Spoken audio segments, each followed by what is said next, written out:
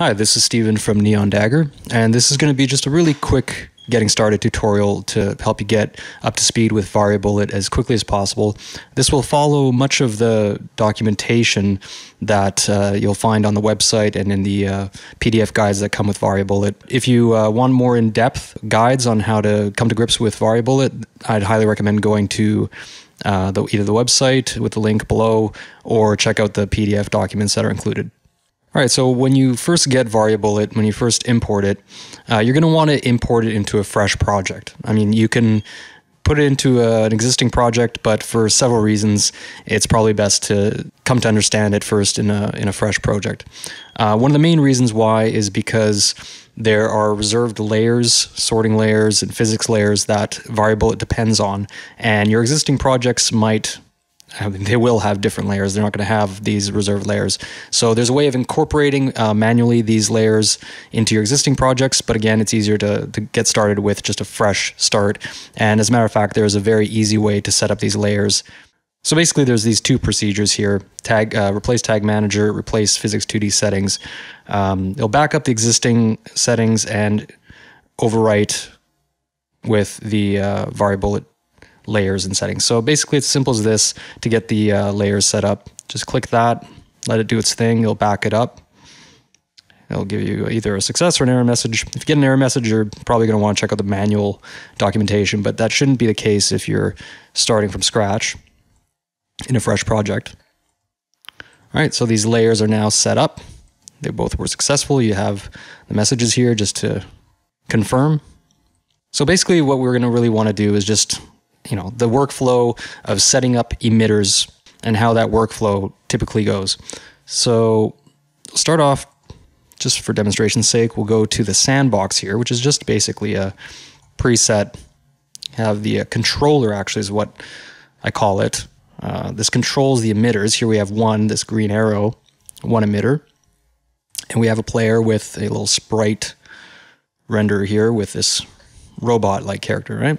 Well, so anyways, what I'm going to do is I'm going to show you how to add this controller slash emitter. I'm going to delete the existing one, change this sprite to a ship so I can show you vertical and horizontal orientation a little bit better. I'll choose this one.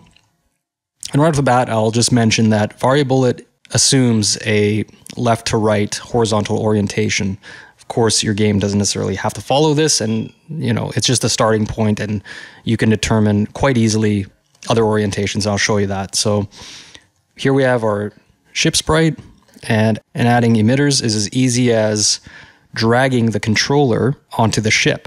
So you'll find it in the ND Variabullet prefabs folder. You go to controller, and it'll show here the prefab marked as origin. So I'll click and drag it there onto this ship, and you see there's a green arrow that's kind of overlaid over top of the ship right now. And that's because the origin point, which sort of serves as the anchor point where the emitter or collection of emitters uh, sits relative to the uh, parent object, in this case, the ship. So right here, it sits right in the middle, as you see here, zero on the X and Y axis. So here in the controller script, underneath the origin game object. Uh, right off the bat, you can determine whether or not you want it to orient on the tip. Center point goes to the center of the ship, and or manual where you can kind of determine. Go to the origin. Now you can determine where exactly you know if you need to do some particular adjustment there. Probably want to default the tip. It's the easiest way to do things. So we have this one emitter with a point game object. We'll talk more about the point game object, which really is the part that fires and instantiates bullets or any sort of projectile. And the controller is basically about setting the emitters. So going back to the game view here, the first thing you'll do is, you know, you'll just want to add more emitters. So let's just say whatever, 12. And you see you, you add more or you add less and it becomes cache. You can clear the cache here. Still a little note there. So I'm going to add 10 emitters, but you don't see them because they're overlaid on top of each other and the uh, default pattern is radial. I'll just I'll just show you. This is what happens when you change the spread via spread degrees, right? And you see it kind of kind of doesn't anchor itself horizontally. So in order to anchor itself, just hit auto center, and there you go. Now it creates a nice radial pattern that's anchored to the to the tip. Uh, but now you may want to change the radius. So you can just change the radius by increasing or decreasing it accordingly. Or here's a handy little quick function. It auto sets it to the radius of the uh, the parent sprite. So in which case, this doesn't quite make sense here why we'd want to do that. Usually, if you got it uh, set to center, you'll see now that's when it's auto set to the radius of the sprite, it just kind of the radius follows that of the sprite. Uh, if you have it set to tip instead of center, uh, you're going to probably want to hit auto comp radius, which keeps everything to the front. Just do four emitters. I'll clear that cache. And see now I can adjust the pitch. And now with spread degrees, can do that. I'm going to put five. When you have a, an odd number of emitters, it always keeps one in the middle, like that. So yeah, that's kind of handy. So that's the gist of a um, radial type of emitter formation. The other main one is stack formation, which also allows you to do um, radial type formations, although maybe not in some cases quite as dynamically. Uh, but it also allows you to adjust the center rotation independently of auto center because now what auto center does is it keeps it vertically centered. So I'm going to keep it centered for pointing forward with just putting center rotation to zero and I'm going to change the pitch here, spread degrees, and see now with the stack formation, I can increase the Y and the X accordingly to form a stack type formation. Right? And center rotation, see now it does this. It rotates it on the axis of the sprite. So, as I said earlier, the default assumption is a horizontal orientation facing to the right. Now, if you want to do a vertical orientation, the easiest thing to do, I think, is just change the parent rotation to 90 degrees, right? Or any other degrees that you want. You have full 360 degrees rotation. And for horizontal orientation, it's actually handled by the top level object uh, as you normally would change the horizontal orientation with the scaling of the x-axis. So minus one would make it go to the left and one will be to the right. Now for actually instantiating bullets and firing bullets, uh, it kind of comes in two parts. There's the controller aspect, which controls what triggers the firing, and that's mainly up here, the top area of the controller, where you have the fire command. It could be either a button press, which comes in these two variants, button press and button press auto hold, as well as automatic and automatic auto hold. Basically, the button press is something mostly used for testing. Of course, you can have this in a final build. There's no reason not to. Uh, you can basically quickly just initiate control by uh, choosing the the key press that you want to do the firing. And um, what auto hold does, this variant of this, is with the auto hold together with the auto hold duration. Uh, when you tap it or even hold it, it, it automatically holds the firing for that length. You know, which can be useful for a variety of of functions. Uh, if it's set to automatic, you have to trigger it with this with this uh, enabling this toggle, which is basically a, a, public bool. So from an outside script, you can access it, or uh, I'm not going to talk about in this video, but you can easily automate um, behaviors, movements of these emitters using, uh, you know, adding these automators, and it'll just if you keep it checked, or in the case of a stepped automator, you can have it trigger the uh, trigger auto fire. But again, I'm not going to go too deep into that. Um, but anyways, that's when it's checkmarked, it'll just automatically fire. And of course, the other part is actually determining the projectile itself and its characteristics. So here, when we go to the point indicator for each of these emitters, we'll go to the first one here. Uh, the first thing here is a custom indicator. This actually changes this green arrow. It Sometimes, in some cases, you can create your own like cannon or or you know custom visual indicator. You know, because sometimes you want to actually maintain the indicator back here in the controller. Here you have the option of never showing the indicators, always showing, which is again useful if you have if you're replacing it with your own, you know, cannon or weapon or whatever it might be, or editor only, which is the default. So that's what custom indicator does. It replaces that. Then you have the shot, which is your base um, projectile behavior, right? So for bullets, if I click here and I look at my bullets, you have all these different default ones, and you can create your own. Again, that's way past you know this introductory quick start guide.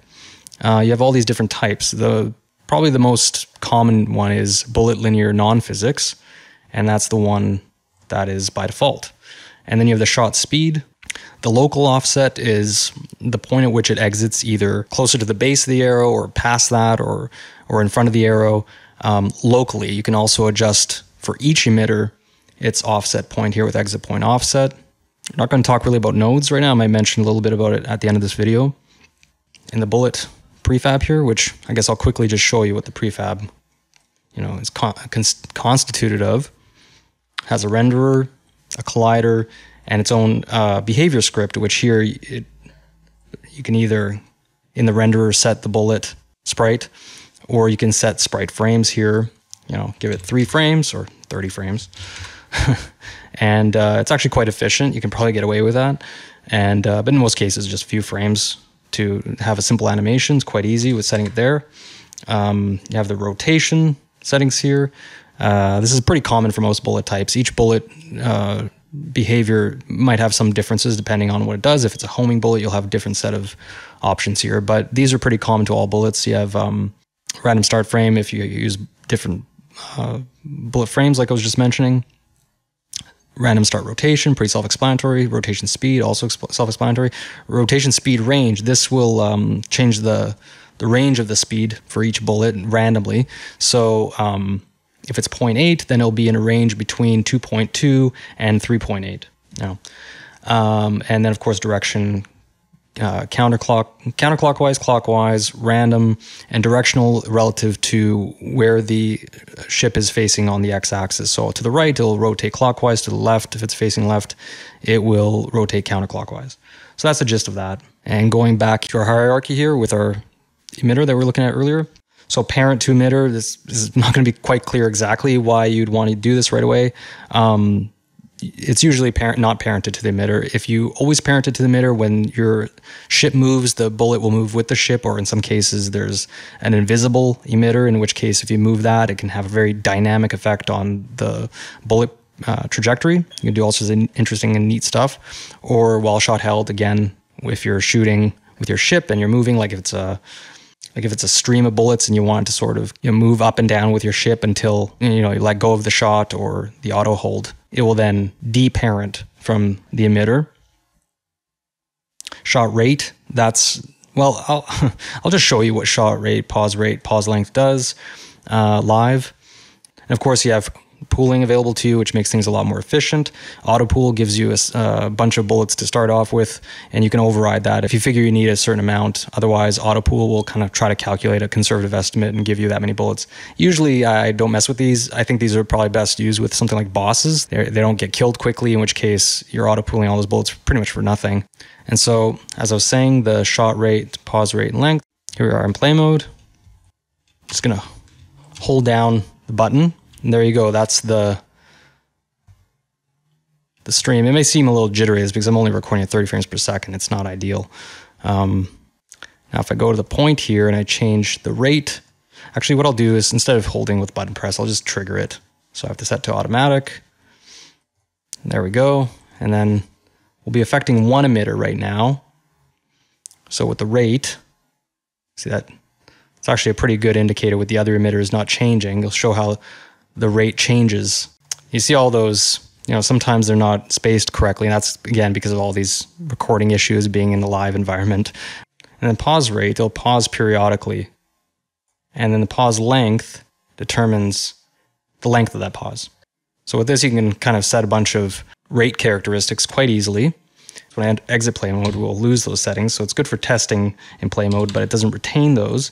So I'll set those and then I'll go back here to clone first emitter to all again. And now that will be across all the emitters. So I'll quickly show you how you can easily also replace these things. Uh, the color. So make it sort of magenta. Get a different sprite. Maybe, I don't know, diamond. And there's a grayscale variant, which is good for when you're color replacing. So I'll choose that. The shot speed. Local offset. Make this automatic.